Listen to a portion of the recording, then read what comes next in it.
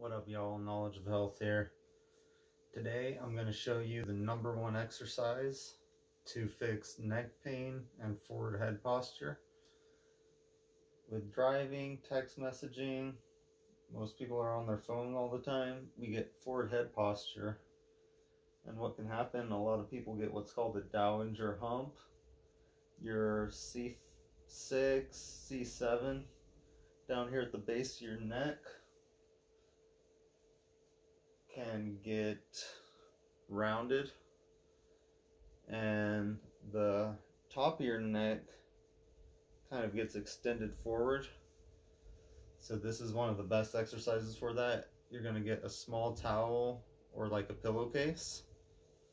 You're going to put it at the bottom of your neck, very top of your shoulders, very bottom of your neck. And you're pulling forward and you're going to tuck your chin back. You're not lifting your head up. You're tucking your chin directly back.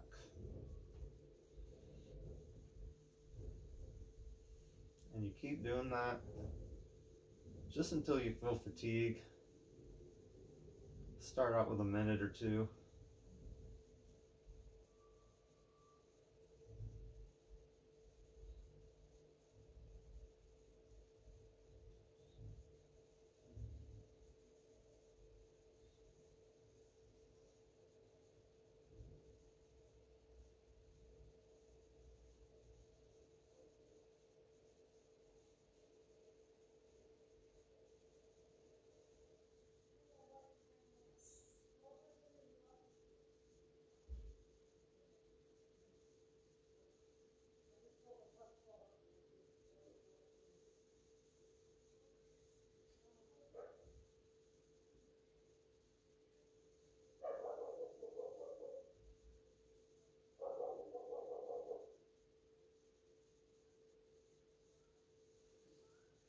Okay, I'm starting to feel some fatigue. So you have the facet joints that are on top of each other. This helps them kind of be in more alignment. Your neck should have a natural curve, C curve in it. So this is going to help get that curve back. A lot of people don't have that curve. Uh, just modern lifestyle, injuries, etc. So yeah, try that out.